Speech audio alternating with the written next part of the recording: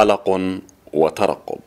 هو ما يميز اليوم الأول من امتحان شهادة البكالوريا. قلق لمسناه ليس عند التلاميذ فقط بل للأولياء نصيب منه. هنا بثانوية الرياضيات بالقبة عديد من أولياء التلاميذ في حالة ترقب وانتظار لخروج أبنائهم من قاعات الامتحان. شعوري كأم كيما كاع الأمهات شغل مخلوعين مقلقين متخوفين من les sujets؟ ومتأملين في ولادنا إن شاء الله يجيبوا لنا نتائج مرضية إن شاء الله يا ربي. هذه هي mais حسينا مشاعر متخلطة متخلطة بين فرح وتطلع النتائج إن شاء الله parce que ولادنا تعبوا وقراو. بالنسبة للوالدين آه، يا حليل.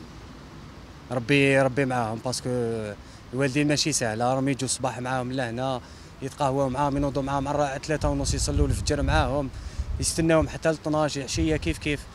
نقولوا إن شاء الله ربي يفرحوكم وإن شاء الله تكون نتائج جد حسنة. جيت اليوم باش ن encourager خويا اللي يجوز بكالوريا في série maths. اليوم دوزو عربية الحمد لله ال sujet كان سهل شفتو رجعت معاه الحمد لله. التلاميذ من جانبهم كل وطريقته في تسيير لحظات القلق التي تسبق الامتحان غير أنهم أجمعوا على توفير كل الظروف لاجتياز الامتحان في أريحية. stress راح راح لي معاه وطلع normal. mais إن شاء الله هذا العام نتوفقوا. إن شاء الله الجميع.